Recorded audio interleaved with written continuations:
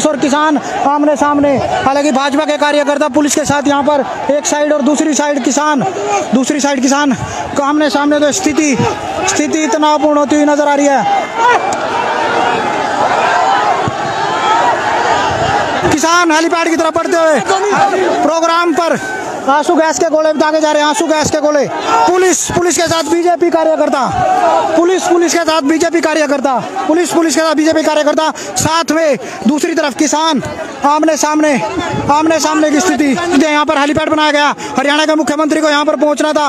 उससे पहले ही किसान, हालाँकि ग्यारह बजे मुख्यमंत्री को पहुँचना था, लेकिन उससे पहले किसान यहाँ पर पहुँच चुके हैं। किसान काफ़ी संख्या में। जिन्हें भी सुनते हैं पिछड़े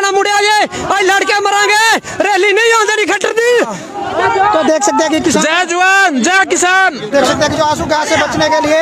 पानी से बचने के लिए। खुद एमएलए ने किसानों के पीछे लग के लट बचाए दो डंडे मुझे मारे किसानों को। दो डंडे मारे किसानों को मारे अत्याचार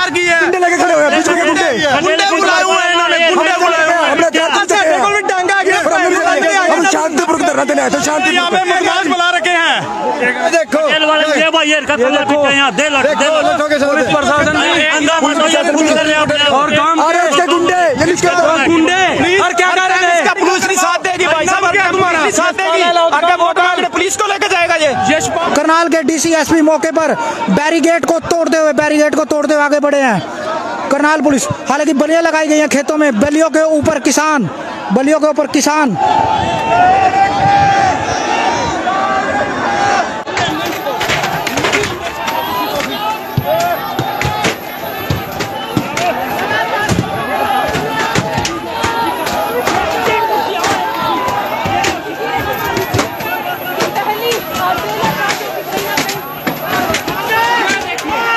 में तथाकथित किसान आंदोलित है।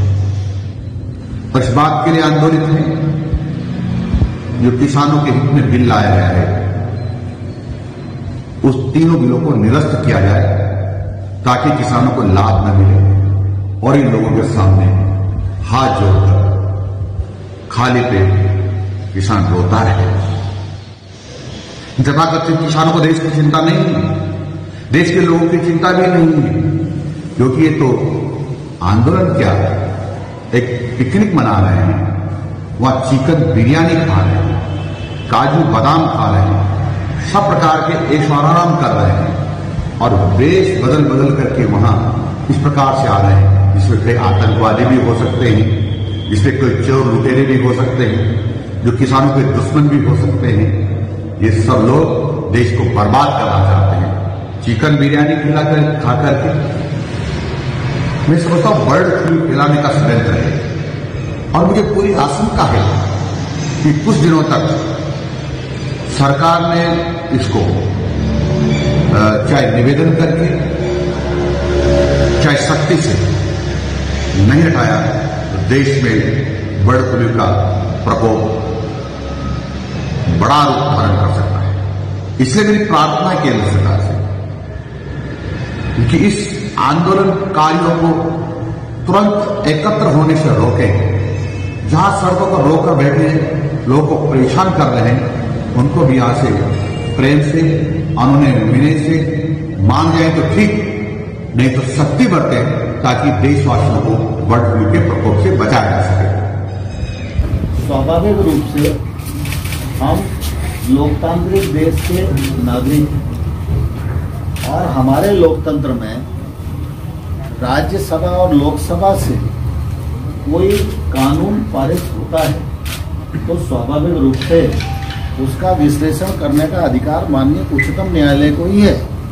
और इसलिए उच्चतम न्यायालय के प्रति प्रत्येक नागरिक की और भारत सरकार की और सभी की प्रतिबद्धता स्वाभाविक रूप से है ही।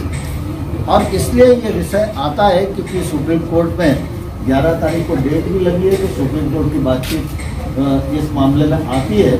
लेकिन सुप्रीम कोर्ट तो जिस दिशा में निर्णय देंगे तो सरकार तो सुप्रीम कोर्ट के प्रति प्रतिबद्ध है इसीलिए तो चर्चा चल रही है। अगर पिछली बार की चर्चा है चर्चा चर्चा का ही परिणाम सकारात्मक आएगा। सर पिछली बार आपने कहा था पचास प्रतिशत तक बात हो गई है। क्या उससे थोड़ा प्रतिशत बढ़ा है आगे? अब बाकी पचास में ही अटकल